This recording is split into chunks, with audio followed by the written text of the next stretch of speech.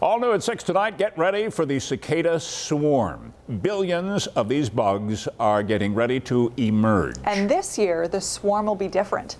7 Eyewitness News reporter Jetty Johnson explains.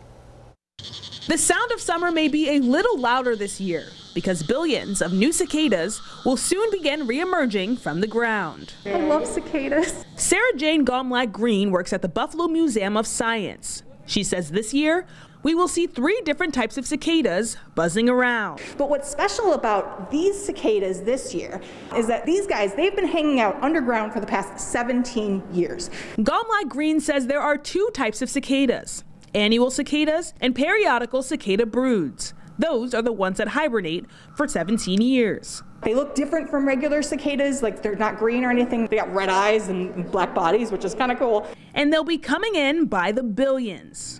Not gonna lie, a lot of them we're not gonna see them because they hang up up in trees, but you're gonna hear them. You'll definitely hear them.